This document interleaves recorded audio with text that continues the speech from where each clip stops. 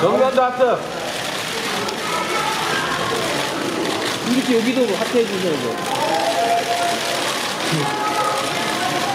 감사합니다.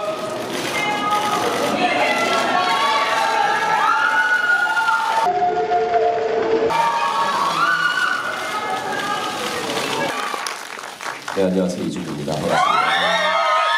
저는 이제 초이 씨 어렸을 때 그 동네 교회 오빠 상당히 교회, 교회 오빠처럼 생겼잖아요.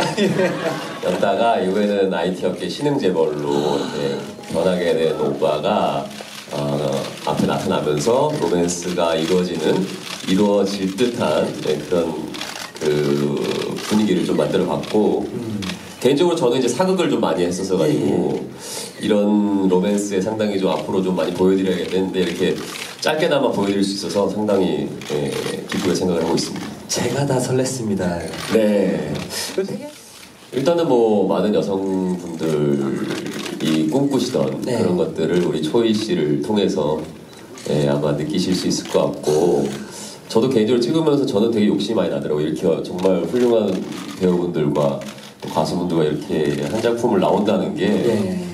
사실 좀 아까웠어요. 아, 이런 걸 더 글로벌 프로젝트로 만들어서. 할 수 있다면 좋겠다 할 정도로 한데 여러분들이 그런 정말 어, 훌륭한 배우분들과 또 훌륭한 또 그 시나리오를 통해서 여러분들이 또 만끽할 수 있는 것들이 있기 때문에 기대 많이 해주시고 아, 초이 씨의 빙이 돼서 한번 보시면 될 것 같습니다. 이준기 씨도 한 말씀 부탁드리겠습니다.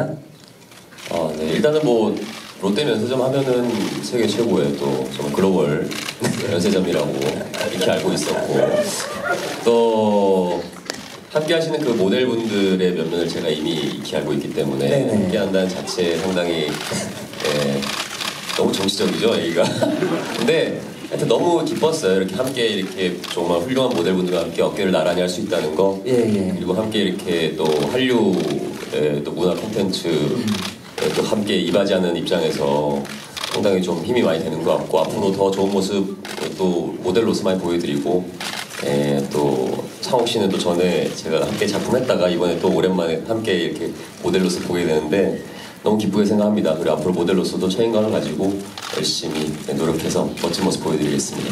네, 박수 좀 부탁드리겠습니다.